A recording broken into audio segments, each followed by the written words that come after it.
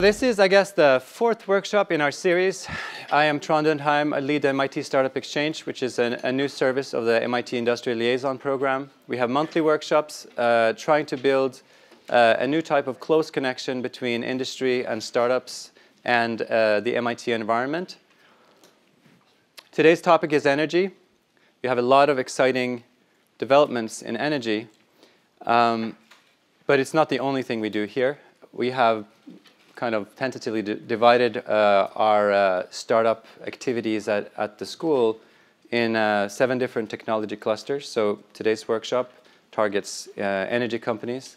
But as you know, when you make these divisions, a lot of the companies, you know, float in between these definitions. So you'll find uh, companies that, you know, will not appear under energy, but they are still here today, and, and there are uh, others that, you know, may not fit so well for this topic.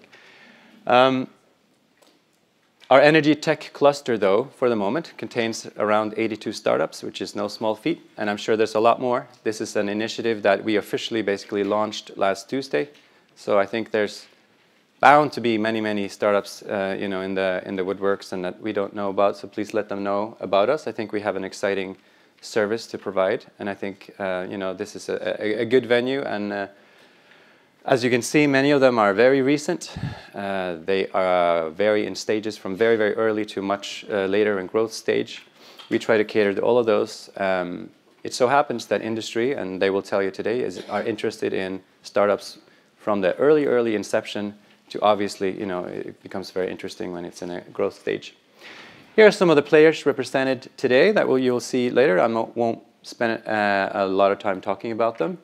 Rather, I'll just make a pitch for some of the other clusters. We have a very large ICT cluster uh, around MIT, many, many startups. Many of them are also relevant to energy, so you should uh, perhaps think of taking a look at those. I do need to mention that this database that we have built is not accessible unless you are a member of the ILP or you are a startup yourself. So that's something to think about. Become a startup founder. The way you engage uh, with this program is um, as an industry member to become a member of, uh, of the MIT Industrial Liaison Program. The other way, as I said, is to be a startup yourself. You can then also access the network in, in every possible way. Uh, and then these events are open, so they are um, obviously very easy to come to. Here's a typical opportunity that we would post and, uh, I guess, market on behalf of an industry looking for a startup. So they would typically be large, larger companies that are members, you know, 1 billion revenue and, and, and above, and they're looking to connect with startups uh, around campus. They typically have some specific requirements. And then you as a startup can uh, apply to that opportunity and we will put you in touch. And if the company is interested, there will be a meeting. There might be an online introduction. There's all kinds of good things that could happen. So I, I, mentioned we, we do a lot of things beyond energy. I just wanted to give you a little snapshot of the things. Uh, part of what we do, obviously, is to plug startups a little bit and, and show you what, what, you know, the richness of this entrepreneurial ecosystem. Squeeze Biotech happens to be one of the very, very interesting examples. And you know the MIT professors collaborate all the time. This happens to be a collaboration between three different labs. And I'm told that what they were going to do was not at all what became this company. Just half a second on this company, they have developed this technology which has a very marketable name of Squeeze, where you can basically, it's a delivery mechanism to a cell. And I'm not an expert on it, but anybody can see that is an uh, extremely hard procedure to, um, to deliver uh, any kind of um, organism into a membrane and get it into a cell. This has an enormous application, and it's a very, very exciting company. Dropwise, I believe uh, the founder should be here. Adam, I don't know if you are. There you are. So he might be able to explain better what this is. Here's my explanation. This also comes out of two MIT labs. Uh, and it tackles the very, very interesting and uh, prevalent problem that you would have in where any amount of uh, you know, liquid has to be squeezed through some you know, large tubes. You can think of utilities or infrastructure, water, you know, you wouldn't believe how much energy is wasted when you're trying to just push water or oil or what you have through large distances and through these, you know, large tubes. They have come up with a coding that has some answers, and Adam will tell us more about that later. Um, Neumitra, completely different area. Here we have um, a researcher who was I guess, so stressed that he decided I was gonna, you know, he was gonna solve this problem for himself to detect stress.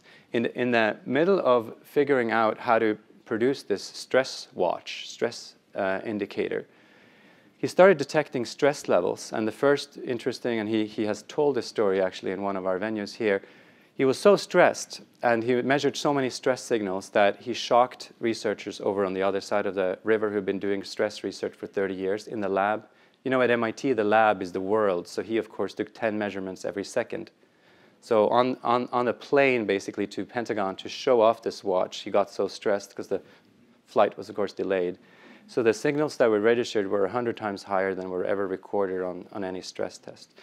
Again, this is fantastic. This is MIT. This is where things happen.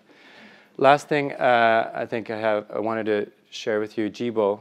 This might be the first real personable robot that can actually give you social and emotional cues. You might think that's a fun thing to have, you know, beside your cactus in the morning, but there are banks looking at this. There are people thinking, you know, this would be a friendly online banker for you. This, you know, there are so many applications when robotics gets very real and very human and very personal. And again, this is MIT.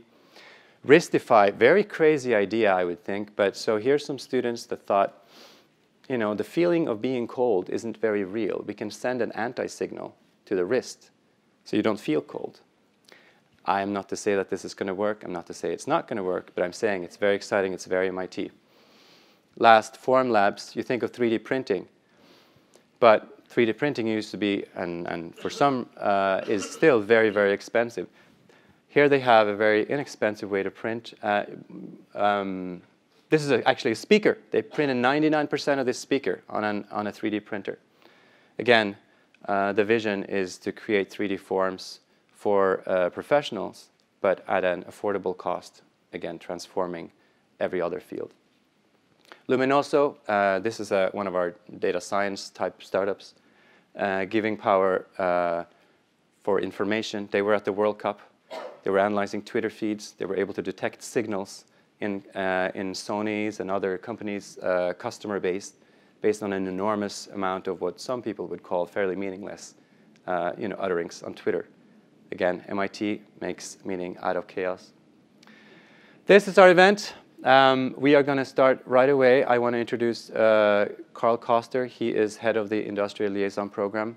Welcome, Karl, and please introduce um, the program. And I want to say to people who are still arriving, there's, you can go uh, towards the back here. There's some more chairs. I hope you can also find some chairs in the front.